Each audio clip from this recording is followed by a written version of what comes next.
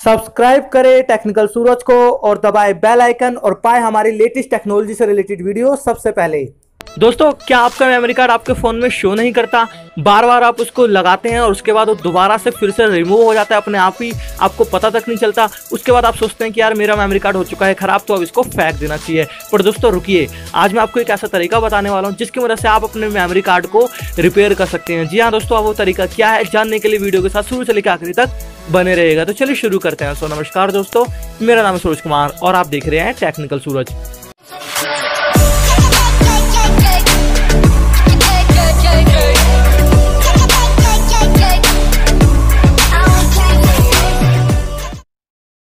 दोस्तों, आज मार्केट में ऐसे भी सॉफ्टवेयर आ गए हैं जिनकी मदद से आप अपने खराब मेमोरी कार्ड से भी अपना मौजूदा डाटा निकाल सकते हैं।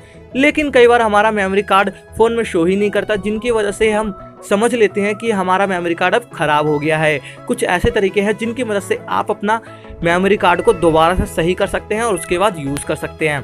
तो दोस्तों, तरीका ये है कि अगर आपका मेमोरी कार्ड का डाटा आपके स्मार्टफ़ोन में शो नहीं करता तो इसके लिए आप अपने मेमोरी कार्ड पर लगी सोने जैसी पत्ती को पेंसिल के रबड़ से साफ़ कर ले।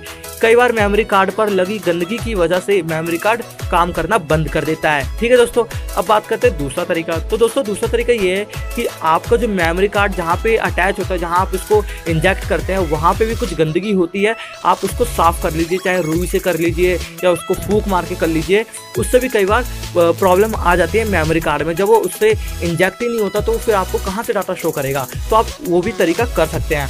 या दोस्तों, तीसरा तरीका तो ये है कि अगर आपका मेमोरी कार्ड बार बार शो नहीं करता, आप जब भी उसको निकाल के दोबारा लगाते हैं, तब भी आपका मेमोरी कार्ड बार बार शो नहीं करता तो एक तरीका, सबसे बेस्ट तरीका ये है कि आप अपने मेमोरी कार्ड पे जो सोने जैसी पत्ती है, उस पर एक एक बूंद पानी गिराएँ, फिर रबड़ ले और उससे हल्का हल्का साफ़ कर दीजिए।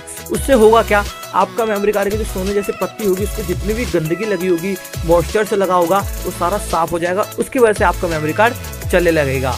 अगर आप इस तरीके को आजमाते हैं तो आपका 90 परसेंट मेमोरी कार्ड ठीक हो जाएगा। अगर आपके मेमोरी कार्ड में कोई डाटा शो नहीं करता तो आप रेकुआ नाम का एक सॉफ्टवेयर इस्तेमाल करके उसकी मदद से आप अपने डिलीट हुए डाटा को वापस पा सकते हैं।